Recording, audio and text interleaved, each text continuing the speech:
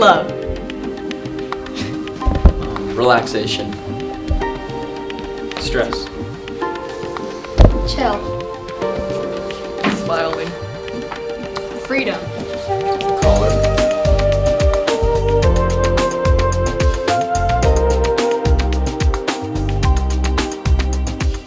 Actually used it last night because I had a I had a couple projects to do, so I just kind of sat in my bed and turned the lights off and took like 10 minutes just to unwind. So.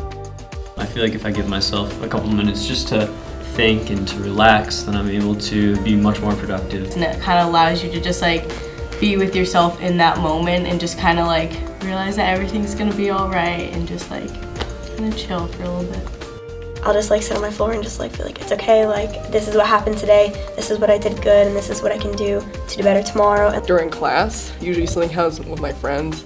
Already, I already know how to solve that problem. I think when you're stressed, you kind of want to focus on like, I need to get this done, I need to get this done now, but like, I think it's important to like sit back and like take a deep breath. Through the year, we started getting more used to it and we started liking our time. It's good to like know that you have that time to yourself, and I think as high schoolers, we don't have a lot of time to ourselves. I use mindfulness, at least in my life, like at the end of the day when I'm stretching after like working out or just running. I actually was meditating before bed. I would I just, you know, sit like this and try to clear my mind, which is really difficult because I usually have a lot on my mind, especially at this time. Yeah. I think people just need to have an open mind more. Just try it once. I think it'll you'll you'll understand what it does. Mm-hmm. Mindfulness is about paying attention on purpose. It's being in the present moment with no judgment. So, whatever comes up in your thoughts, past or present, you're just aware of what's coming up and you come back to your breath. Why use mindfulness? Well, meditation can improve your concentration. It can help you reduce your anxiety and your stress. It can help you with depression.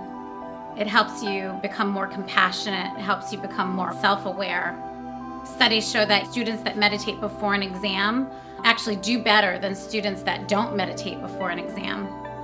Last year I had a lot of like drama going on with like my friends and so when I did yoga it calmed me and this year like midterms are coming up next week so taking it like this week was really good because it helps you like prepare for it. Exhale it out. Let's foam like crazy. Let's get the mm-hmm. science teachers down the hallway to be like, what is going on down there? Ready? Breathe in.